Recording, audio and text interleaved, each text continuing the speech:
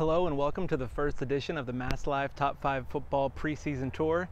My name is Gage Nutter and today I am in humid Longmeadow to preview the number 5 Lancers upcoming season. Longmeadow was one of the best teams in the region during Fall 2.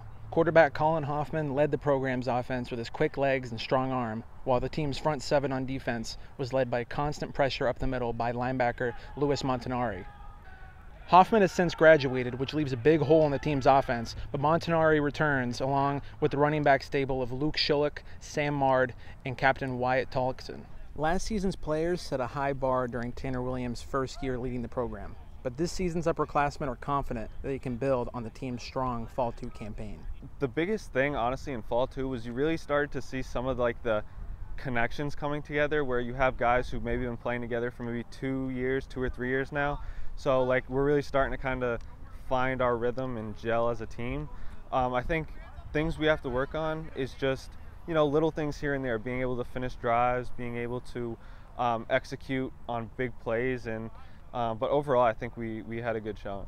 We have so many people returning from last year. Um, we can. It's not like we're starting over as we were in years past. Um, we can really just, as opposed to starting you know, starting brand new, we can kind of build off of last year. And we're a little more ahead maybe than years before. The one thing that stands out to me is this group of seniors and this whole team has a incredibly strong bond. You know, we do a lot of the preseason stuff together, a lot of seven on sevens, even just pick up on the field by ourselves.